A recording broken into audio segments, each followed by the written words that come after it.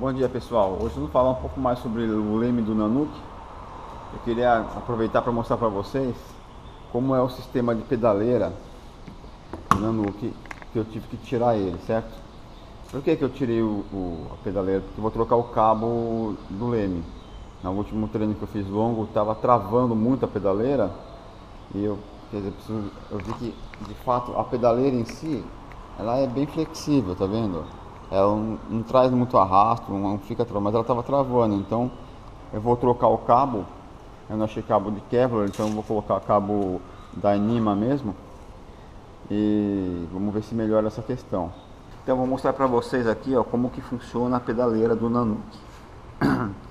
Aqui você tem um pedal que gira e move o leme, certo? Que corre em cima de um trilho.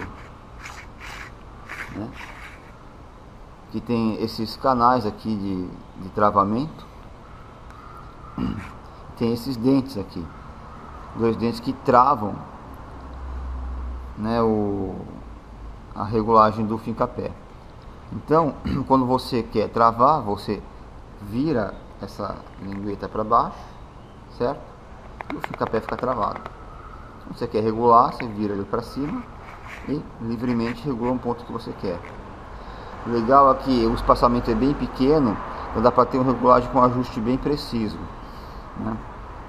E a vantagem também é que, como eu falei, você fica com, a pedaleira fixa enquanto o leme, então evita aquele problema de você ficar com uma perna estendida e outra perna encolhida, o que prejudica o apoio na hora de fazer manobra. Né? Bom pessoal, vamos falar agora para que serve um leme num caiaque oceânico. Então para isso primeiro vamos falar para que não serve, tá? Um leme no caso oceânico não serve para fazer curva. Curva você faz com manobra, certo? Então, por que que, só para você ter uma ideia, se eu fazer uma curva muito fechada com leme, ele vai fazer isso aqui, ó, certo? Nesse ângulo, o leme já não atua mais como leme, ele já virou um freio, na verdade. Você só vai frear o barco e o barco não vai virar, certo? Então, para fazer curva com caiaque oceânico é com manobra. Então você pode até usar o leme um pouco, mas a curva mesmo você vai fazer com manobra certo? Então, para que serve um leme no caiaque oceânico?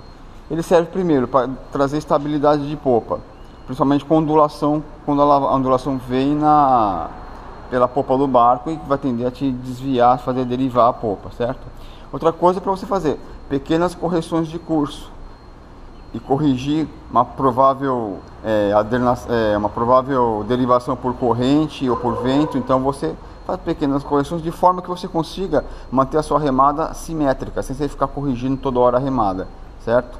Então, como falei no começo, eu estava com um problema é, no, no leme do Nanu que estava muito curto, como ele tem a popa muito alta, o leme praticamente encostava isso aqui na água só quando estava descarregado. Então, eu fiz aqui uma pequena extensão, né? Vocês podem ver desse tamanho aqui assim, ó.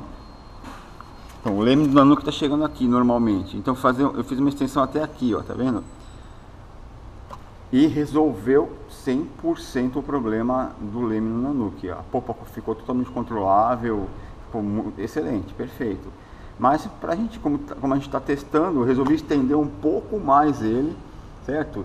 E testar um pouco na costeira para tentar definir qual seria o tamanho ideal de lâmina. Se isso aqui ficou muito grande ou né, fazer um teste ideal.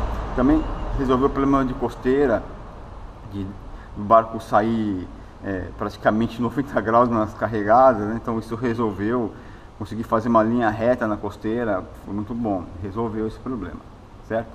Então, vamos entender como que atua o leme é, com relação à corrente de popa, né? a ondulação de popa, aliás. Você imagina, quando a, a onda chega e bate na popa do barco, seja em que direção for, né? O que, que vai acontecer? No primeiro instante que você sente a derivação, você já faz uma pequena correção isso faz com que você consiga entrar reto na onda e aproveitar 100% o surf dela. Se você não corrigir diretamente, você vai, direito, você vai sair, sua popa vai sair, você vai ser obrigado a ficar fazendo, parar de remar para ficar fazendo correção, fazer apoio, certo? Isso faz uma diferença enorme.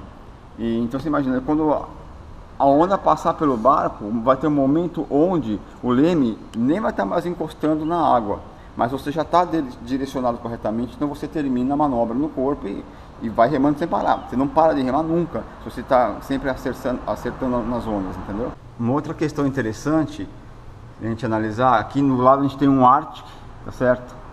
Que é o oposto, podemos dizer assim, do Nanook. Aqui a gente tem um barco de alto rocker, ou seja, muito manobrável, e aqui a gente tem um barco é, muito quilhamento, é muito tracker, um barco que anda reto, pouco manobrável.